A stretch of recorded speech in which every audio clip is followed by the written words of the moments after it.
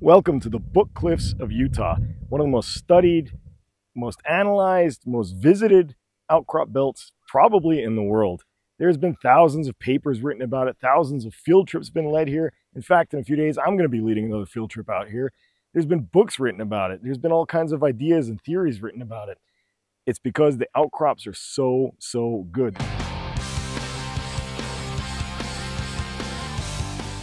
They're spectacular expressions of Cretaceous shore face and deltaic deposits and some fluvial systems in there. Each one of these sandstone tongues has a name. There's the Aberdeen, the Kenilworth, the Grassy, the Sunnyside, and so on. This is like the textbook area for sedimentologists and stratigraphers. I love it! Come on! I'm not going to be looking at the usual stuff on this trip though. In fact, what I'm going to be looking at is some of the stuff down below. I'm not looking at shore faces and deltas and fluvial systems. I'm going to be looking at some of the offshore material, some of the channels and some of the fans that came out from these feeder systems that were being sourced by deltas.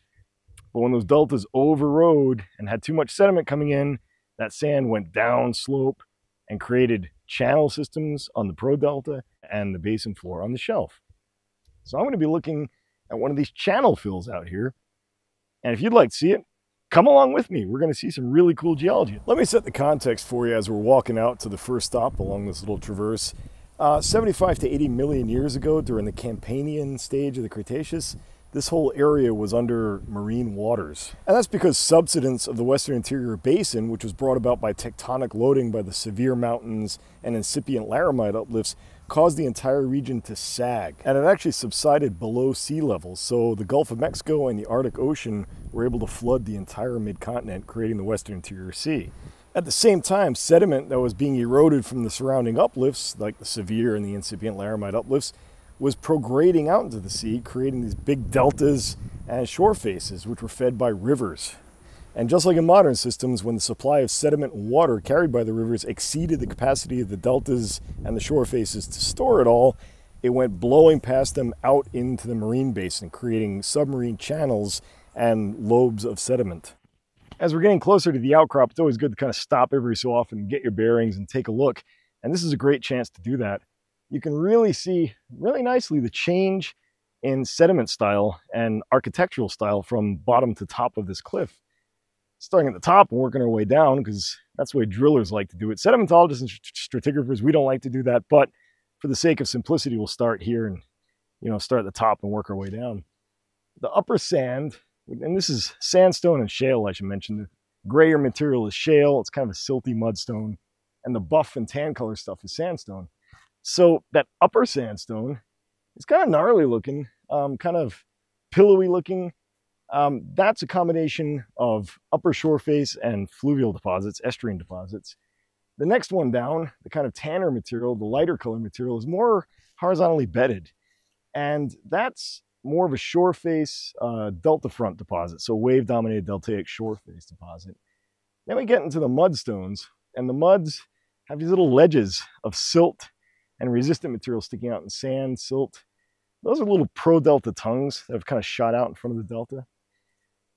But the feature we're interested in is at the very base of the cliff. Um, it's the first resistant ridge in the mudstone, and you can kind of see it's got a little bit of a dish shape to it. So that's what we're going to go take a look at. It looks like it's scoured out, looks like it's a dish. It's been interpreted as a submarine channel, and that's what we're going to go take a look at. All right, we're closer yet to this thing. You know, with geology students and even professionals, a lot of times you got to stop them from running immediately up to the outcrop. They just want to run up to it and start looking you kind of got to work your way up to it. You got to see things from afar. If your nose is right up against the rock, sometimes there are features and characteristics that you just can't see. You're too close. It's the whole forest for trees thing, right? So here, you know, that lower ledge, which back there it's kind of ambiguous. Does it look like it's actually scouring it or not? But take a look at that side on the right. And sure enough, looks like there's a scour. It looks like it's cutting into the underlying shale, that gray Mancos shale. All right, we are right up on it now. And you can see this is the left side. It does look like it's got a heterolithic fill, just meaning it looks like a combination of sand and maybe some silt or mud, giving that discrete layering. If it was homogeneous, you wouldn't get that.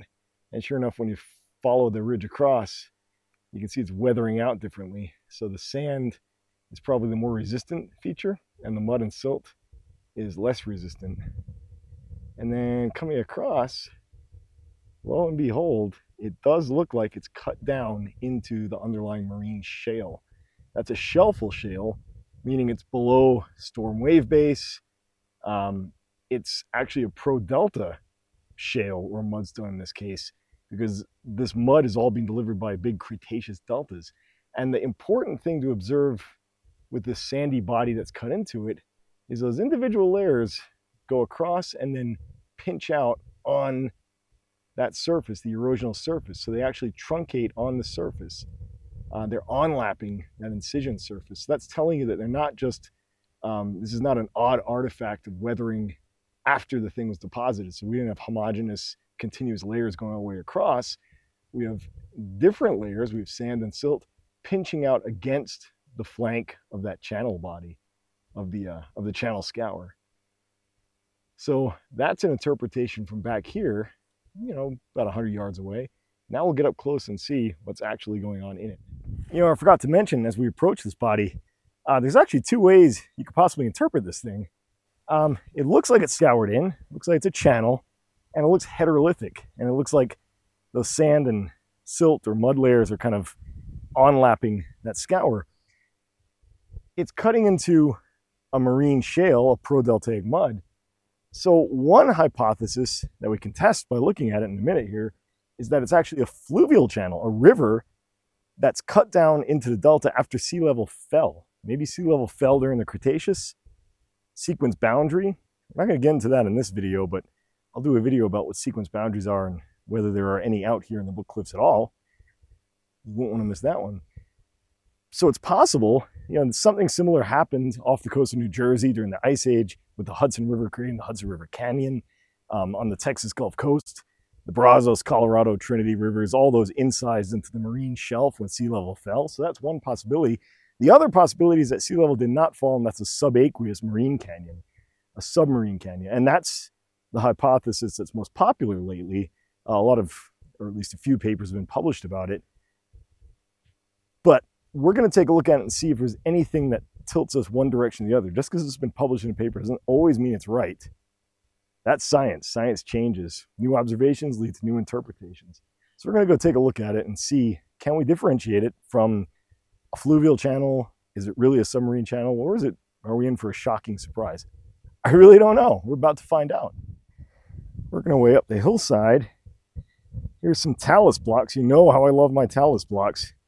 And they're not really blocks, they're flakes, but look at that. There's ripples on them. So we've got ripples on that. There's some larger ripples over here. So we do have ripples. I'm not seeing much in the way of trace fossils though. But we got a lot of talus to look at before we get to the outcrop. Wow, the lighting is just absolutely perfect for this outcrop at this time. Here's that sand, that heterolithic sand, and sure enough, it's a fine to very fine grained sand with some silt and sand in between. It's wavy, it's rippled, and look at that sharp incision. There is a sharp, sharp incision into the underlying laminated silty mudstone. Let's take a closer look at this silty laminated mudstone underneath. So earlier I said it's cutting into a shelf, and I kind of corrected myself. You know, when I was talking about this channel cutting into the shelf, and I said, well, you know, it's a marine shelf, it's a mudstone. In reality, shelf mudstone would be 100% bioturbated, chewed up there would be a lot of worms and shrimp and bivalves and crabs. Healthy, healthy marine ecosystem in a marine shelf deposit. This stuff, you can see laminations all the way across, fairly uninterrupted, and more importantly, I don't see any big, robust vertical burrows, no feeding burrows, nothing really, and that's typical of a pro-delta. That's because there's a lot of freshwater and terrestrial mud and organics blowing out of that delta front and creating a hypopycnal plume of muds and organics. And marine organisms do not like that. They can't tolerate fresh water. They don't like the terrestrial organics. So pro-delta deposits tend to be devoid of trace fossils like this.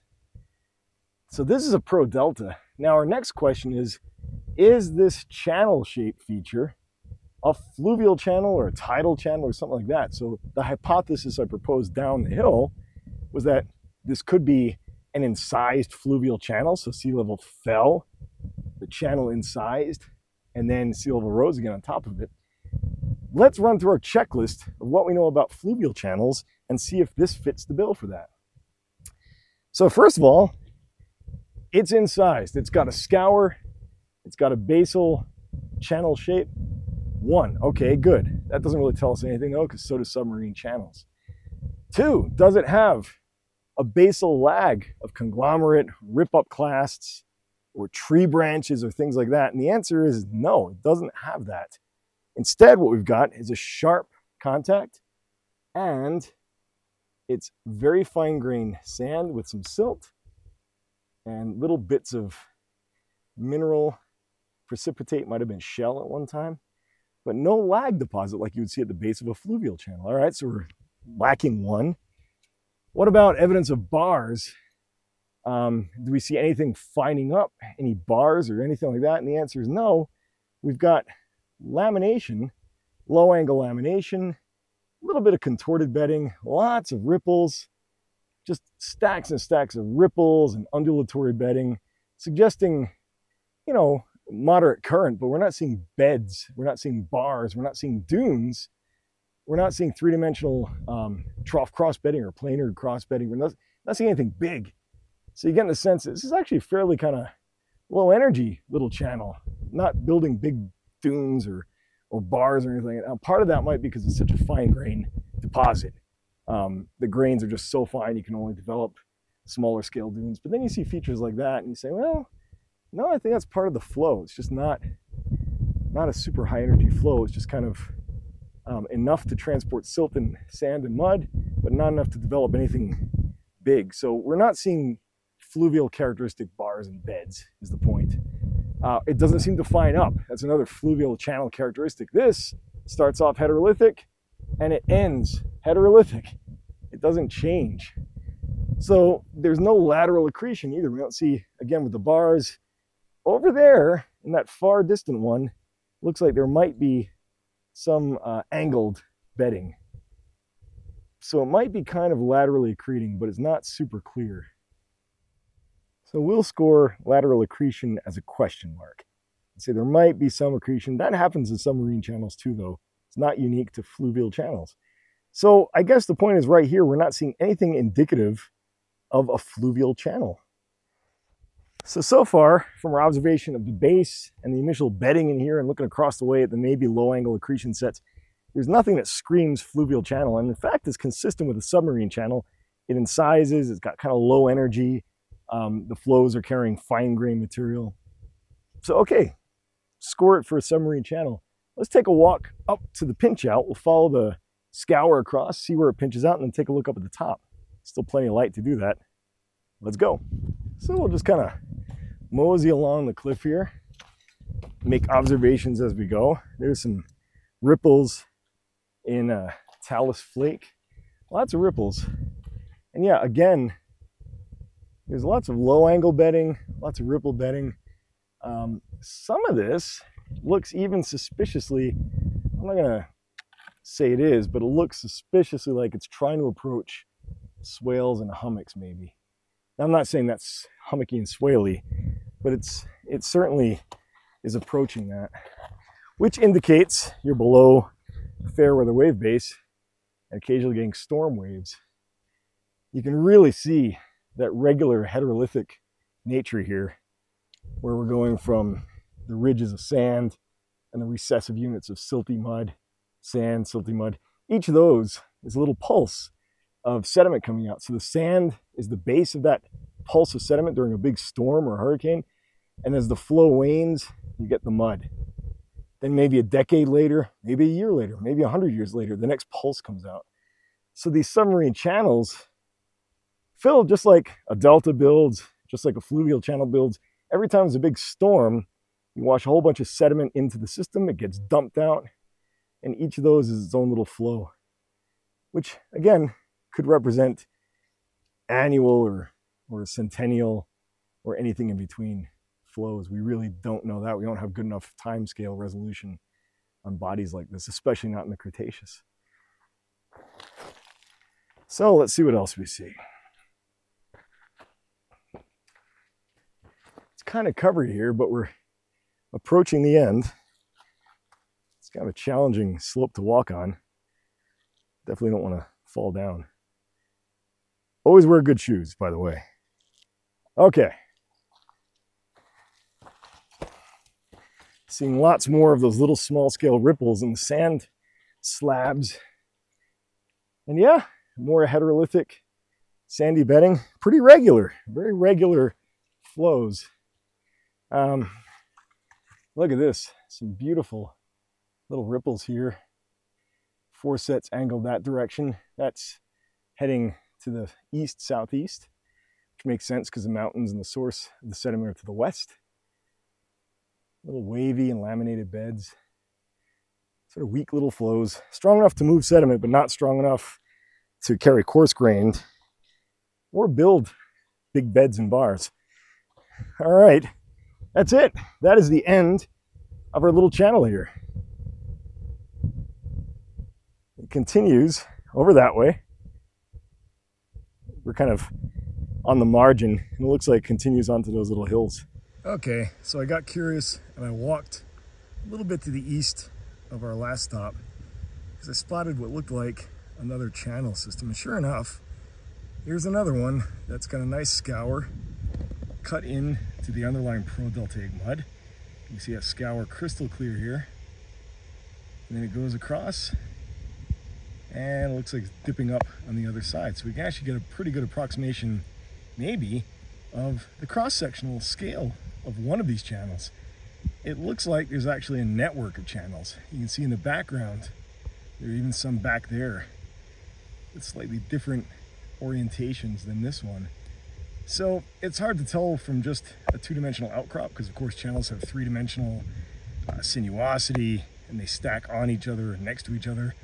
But it looks like we're dealing with, unsurprisingly, more than just a single channel coming down the Pro Delta. And it looks like there's actually a network of channel systems. So from a distance, it didn't look like too much. And as we got closer, it looked more and more like a little channel. Then the question I came up with is, is it a fluvial channel, a river, or an estuarine channel that cut in during a, uh, a fall in sea level like happened on the East Coast in the Hudson River or the Texas Gulf Coast, or is it genuinely a submarine channel that was flowing underwater? And everything we're seeing is consistent with being in a submarine channel. We're not seeing anything typical of fluvial systems. Looks like relatively weak little flows in a confined space off the nose of a delta underwater. So this is, yeah, I totally agree. It's a submarine channel. And in fact, this channel has been implicated, or one like it, has been implicated in feeding what I call the Hatch Mesa Mystery Sands, other people call them the Prairie Canyon sands. Um, I did a video on them last year, or maybe two years ago at this point. Um, but those are the fans where this channel emptied out onto the seafloor, created these big fans that look like deep water fans. There's turbidite flows. There's also ripples on them, climbing ripples, um, and even some hummocky and storm beds. There's all kinds of features in there. They're controversial. People like to argue about all the details and intricacies. That's neither here nor there. Are you crazy? Are you? So again, I hope you saw that with just a few basic observations and a little bit of knowledge of analogs and how systems work, you can come out, look at a rock unit, look at a deposit you haven't seen before, or maybe one you've read about and you're not too sure about, you want to make your own opinion. Come out, make your own observations, see how it tallies up. And at the end of the day, walk away with a pretty good interpretation, I think. As always, thank you for watching, and I will see you on the outcrop. Take care.